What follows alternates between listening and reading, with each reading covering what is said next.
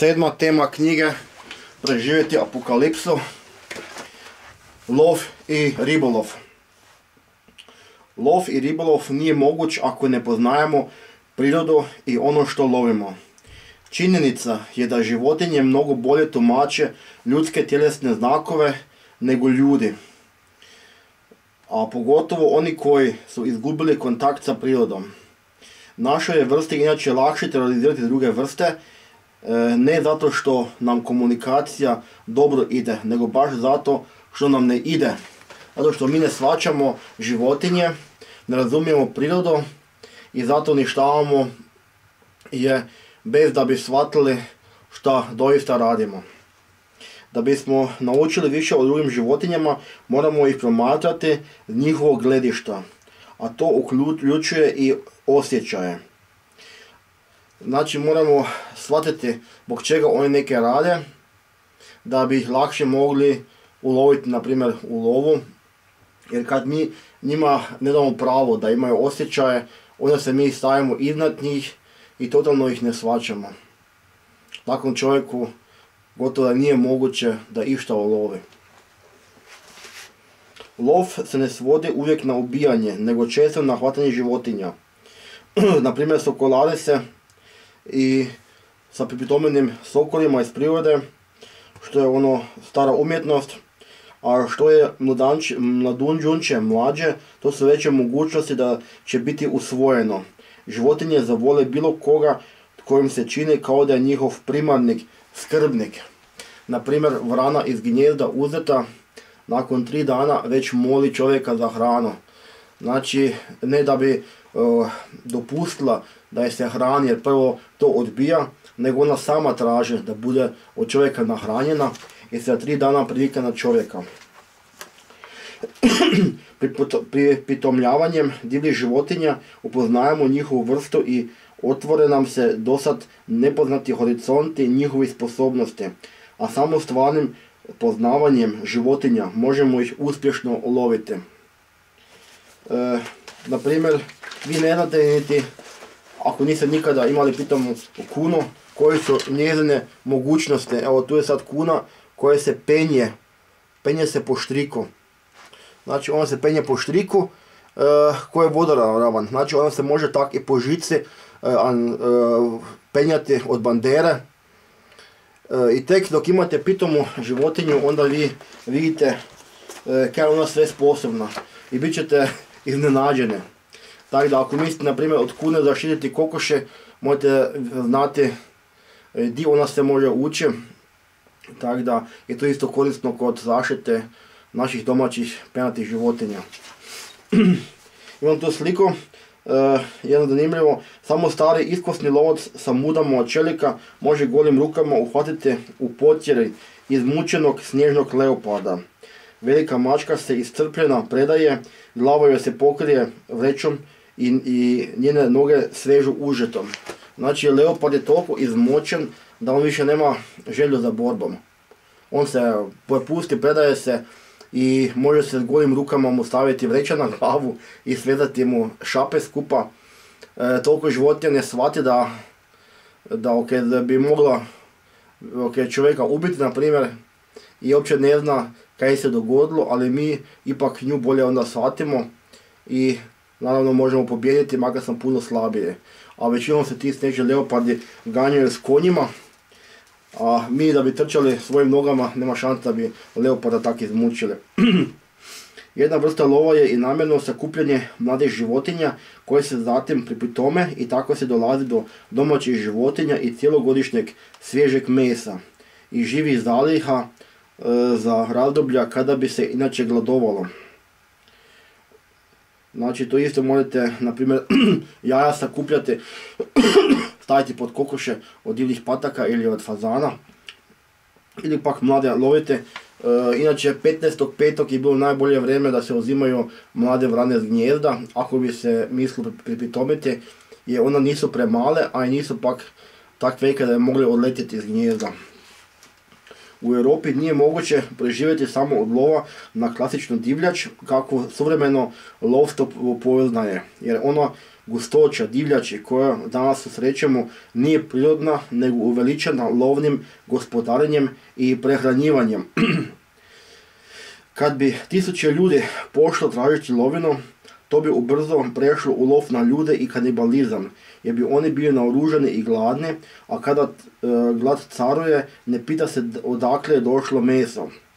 To se često događalo u povijesti, jasno nemaš kaj drugo za jesti i onda onaj slabiji uvijek navijek na drapa. Imate onaj gladomor u Ukrajini gdje je par milijuna ljudi ubijeno samo z gladi. I tam se isto pojavila ona kanibalizam. E, vegetarijanstvo se nije nigdje prakticiralo, osim nakratko u šamana prije nekih posebnih obreda. Znači ne postoji niti jedno, jedno pleme na svijetu uh, domorodaca koje je doista prakticiralo konstantni vegetarijanstvo. Jer im su mi trebale i životinske namirnice i još što sad idemo, ti vegetarijanci, to su plot uh, našeg blagostanja. Jer imaju mogućnost jesti, uh, nabaviti sve posvuda i onda se može priuštiti neko vegetarijanstvo, što inače ne bi bilo moguće. Čovjek je kao i sva druga bića oportunista i jest će hranu do koje najlakše dođe, a tome će i prilagoditi svoje lovne navike. E, to je točno i dolazi do e, jednomjerne hrane, jednolične, ona valja dosta miješati ili mijenjati lovinu sa drugima koji imaju na primjer ribu, a ti imaš meso i slično. I putem dok idemo u lov, e, valja nabrati i drugu hranu kao što su puževi, ježevi, ptičja jaja ili gljive. Lov i ribolov je vezan u sezone, jasno. to su sezone parenja, kad se životinje neoprezne, sezone, sezone okay, dok imaju mlade, dok imaju jaja, na primjer. E, bioritam prirode zajedno veže cikluse flore i faune, tako da mjerilo nisu ljudski datumi, nego prirodne kazalike na terenu koje slijede životinja. To može biti, kaj znam, e, kad su trešnje zrele, bomo jeli tjedan dan samo trešnje, onda moramo tu čvorke hvatati i slično. Valja znati da gotovo sve životinje slijede svoj svakodnevni raspored. Naprimjer, ako sad ja danas opazim jastreba, preletjel prek dvorišta, u sutra, isto vrijeme, e, bude tu letjel jastreb i tu nam mogu postaviti neku zamku, ako ga odvrijem ulovite. Sokolarstvo je inače moguće samo ako imamo dovoljno slobodnog vremena i kada je zajednica dovoljno velika da konstantno imamo dosta mesa i za našu pticu. Znači imamo konstantno neke ptice, neke sisavce, a to mogu biti deca loviti te male životinjice koje se mogu koristiti za prehranu sokola. U opasne životinje spada osim vepra i jelen, jednako kao i srndač u sezoni parenja ili ako je pripitomljen i ne boji se čovjeka. Niti slučajno nemojte pokušati spaviti gnjezdo sršljana u noći kao u gnjezdu osa. Sršani ne miruju i ne spavaju noću na svome gnjezdu kao ose, nego su čak i aktivniji noću kada idu u lov, pa, moć, pa se grdo uh, i nastradate. znači, nemojte to pokušati, govorim iz osobnog iskustva i, i onda možeš tako najebati kad sam sebi čudiš. Čovjek koji je najbolje počeo lov sam jer nema sa kime pričati. I tih je, a tek onda e, može uspješno se šuljati.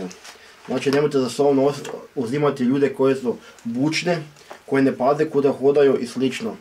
To mi je onda jako loše. Sad imam tu neke slike. Umo to ovako riješili jer nema mi se raditi nekakve programe.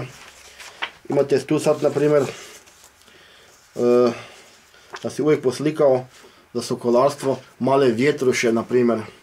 Znači mužak i ženka vjetruše.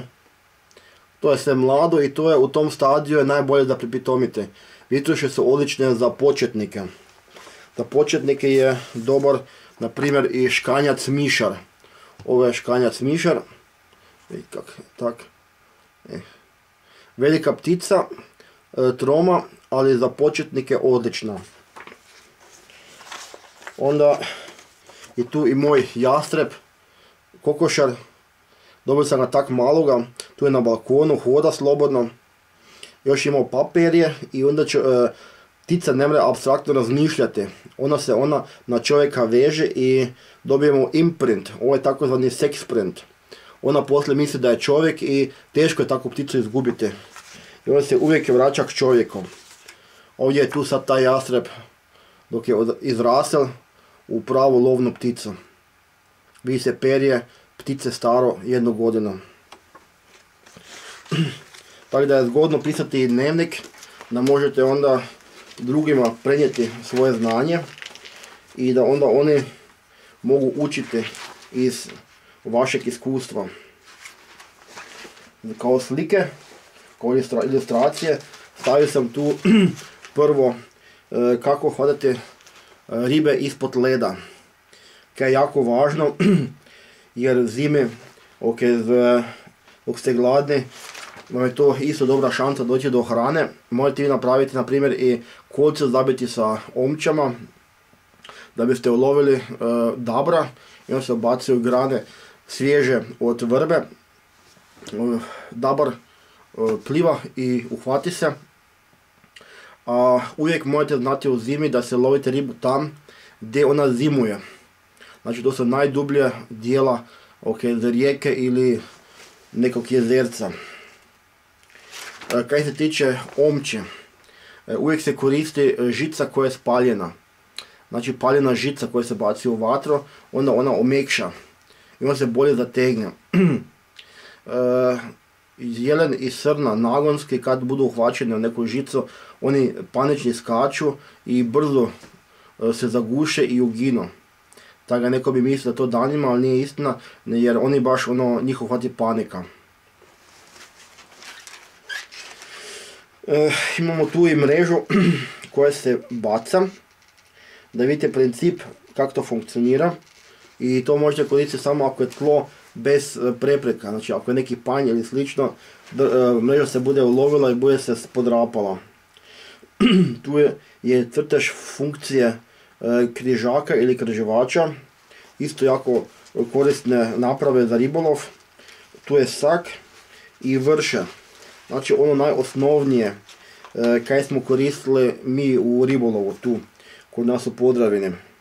Postavili sam tu i e, razne hvataljke za ribu kak su imali indijanci gdje su pregradili čitavu rijeku. To bi se isto dalo nekoj post-apokalipsi izvesti. I možda neki ne budu vjerovali, ali bitno je da imate više starinskog iskustva. Znači iskustva ribolova naših starih, i onda, na primjer, kak mi tu e, možete uloviti toliko riba golim rukama e, da ne budete nositi. Mislim, uloviti u, za jedan sat. Evo tu se možda vide jedan dečko, malo, jedan dečko mladi i ja, prije nekih 15 godina, ulovili smo toliko riba za jedan sat golim rukama da ih e, više nismo mogli nositi i morali su prekinuti onom ribolovom. Onda postoji fora kak običnim štapom dodeš ovakve štuke. Foru boje da ne velim. Njegove takve stvari se čuvaju za sebe. Jer ne bih htjeli da vi tu polovite sve te velike ribe. Već sada, a ne onda dok bude potrebno. ribe je najlakše loviti kada je dovoljno toplo sa rukama ispod naplavljene vegetacije ili po rupama ispod obale što ponekad zna biti iznenađujuće uspješno. Znači onda morate imati nekoga koji nosi ribu za vas. Jer vama ruke moraju biti slobodne. Znači pomagača kome bacate na obale ili čamcu ribu i on na nju onda pazi. Ili nosači koji ju nose onda u tabor. Mreže su se prije plele od e, niti koprive Ljudi su bili toliko, toliko spretni da su izgradili, na primjer, čak do 600 metara dugačke mreže za lov na jesetre, koje mogu doseći težinu do pola tone. Nije bitna težina ribe od 500 kina, e, koliko, e, toliko kao njena brzina i šiljasti oblik tijela, e, koji lako probije oka mreža. mreža. isto kako od šćuke. Ona dok se projuri, ona može projuriti kroz mrežu bez problema. A mreže možete, moglo se zapravo kupiti za pola cijene kod firme Barakuda u Šibeniku i vlasnik mi se žal, veli da na otoku Kubraču više nema ribića, znači ribolovaca više nije bilo. Ljudi, ljudi su ili preljeni ili im se da hvatati ribu. Tako da postoji ono staro pravilo da na kopnu i tu u unutrašnjosti je uvijek bilo više ribolovaca i ribića nego na samoj obali Jadranskog mora. E, tko pak nema drugu hranu, valja vaditi e, kamenje iz plitke vode i sa njega odstrugati sitne račiće koje se mogu jesti sirovi ili se od njih iskuha fina juha. Znači uvijek je hrana tam gdje se može sakriti. U nekom duplo, trulome, ispod neke kore, ispod kamena i to može poslužiti nama za hranu ili mamac, na primjer za ribolov ili u lovu na neku drugu divljač. E, troslojna mreža za pletača. E, najveća greška početnika je da takvu mrežu postavlja u tekućoj vodi. Jer ona donosi voda e, drveće, e, vegetaciju i slične stvari koje se nakupe u mreži i ona, ona postane neupotrebljiva. E, čuo sam priču da u tekućoj vodi znaju neki pusti da struja nosi mrežu i onda se navodno nju uhvati ribe, ali ako je neka prepreka, neki panj tu, ona vam bude se e, cijela mreža potrgala. Tako da to nije za preporučiti. Ona, e, ta zaplapetača, je samo za mirnu vodu, gdje ona riba može ući unutra i onda se riba po, po mogućnosti i tjera u mrežu, plaši na primjer. I valja puno tehnika ribolova odjednom iskoristiti. Znači, ako postaviš mrežu za pitaču, možeš skređivačom dizati ribu okolo, možeš i ribu rukama, golim rukama vaditi van ispod obale. Tako da riba uvijek ne zna gdje bude ohvaćena. Tu je ona efikasnost puno veća. Glavno e, pravilo je da u stajaćim vodama riblja jata putuju da bi pronašla hranu, a u tekućoj vodi stoje na najboljim mjestima gdje im struja donosi sa sobom hranu direktno pred nos. Ali tu mora štuka, som, smuč i drugi grabežljivci putovati kako bi iznada zaskočili svoj plijen. U stajačici je suprotna situacija. Tu grabežljivice e, čekaju sakrivene i miruju. Jer čekuje da im se približi koja neoprezna riba i ona ju uhvate. Znači kontra vam je. U stajačici ščuka stoji, a u tekućoj vodi ona putuje, na primjer. E, kada smo gladi, bolje imati mrežu sa sitnim okama promjena 1,5 cm, nego ono klasično od 5 cm gdje se hvataju ribe od veličine šake. Znači bolje je imati i nama bitna količina plijena. I onda ako baš i ne jedete to malo ribu, možete koristiti kao mamac ili čak mislim za ribe druge ili pak mamac za ok, za divlje svinje na parangalom. Znači otpadom se mogu nahraniti psi, poviti perat ili se to koristi kao mamci za veće ribe ili divlje svinje na parangalom. Tu sam stavio i vršu od pruča, da vidite kako se ok, može napraviti. I svako vrijeme, sunčano, toplo ili sparno, hladno, vjetrovito ili kišno utječe drugačije na naš ulov. Znači mi kad znamo da je vrijeme loše, mi ne, nećemo iti u lov jer nema smisla. Ako kad vidimo da je vrijeme povoljno, onda ćemo sve snage baciti e, na lov određene ribe i tako da je to e, uspješnije. Znači bitna je samo efikasnost. Efikasnost vlastitog rada i vremena koje se uloži. Inače, ako previše loše gospodarite svojim vremenom, onda sve manje više gladujete, nemate, više, nemate hranu i gubite. Ne samo na kilaže, nego i na ljudima koji budu gladni. E, inače, vode najviše privlači golubove. Oni čini se piju najviše, pa ih se tu može dočekati puhaljkom ili zračnom puškom. Svaki ubijeni golub se ostavi na licu mjesta da je dobro vidljiv iz zraka i posluži kao mamac drugim golubima. To je bila dobra fora dok smo lovili sa zračnim puškama, a vi dok ste u vodi, a toplo je, možete ostajati u vodi satima, ona je topla, onda vas životinja toliko ne prepozna. Ona vidi samo našu glavu i ne boji se našoj glavi kako čitavom tijelo. Tako da dojde dovoljno blizu da se može, na primjer, ubiti sa puhaljkom. Tu sam stavio i najvažnije čvorove koji su važni za, za ribolov. Onda imamo tu kako se postavlja struk ili parangal na nekoliko različitih načina, oni koji su najefikasniji. E, izrada podlečke, znači živa riba se stavi na udico i tako stavi preko noće.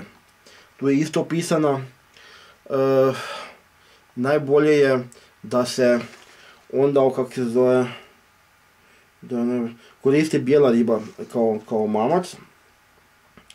I normalno, uh, inače ok, svaka treća je nešto meni uhvatila kad sam to prije postavio kao dječak. I onda ok, se uvijek misli, uvijek nisam zna kaj je unutra. Znači ok, jedno je bilo šu, uh, som, ščuka, grgeč ili ko zna kaj. Znači to je najljepše dok ideš ujutro vidjeti kaj se lovilo u toj podlečke. Stavio sam tu i češalj za jegulje, trokuku za hakljanje i hvataljke za jegulje. Jegulje se inače mrijeste u, u Meksičkom zaljevu i onda putuju uzvo, uh, morima i rijekama uzvodno do tam gdje se uh, di odrastu. Kod nas je sad problem, već dugo nema jegulja jer okay, za, jer jegulja okay, za, ne more dalje dojeti zbog tih brana na Dunavu i na Dravi. Tako da, nažalost, nje je sve manje i manje, a prije je znala po noći čak, po mjesečini, migrirati po uh, vlažnoj travi.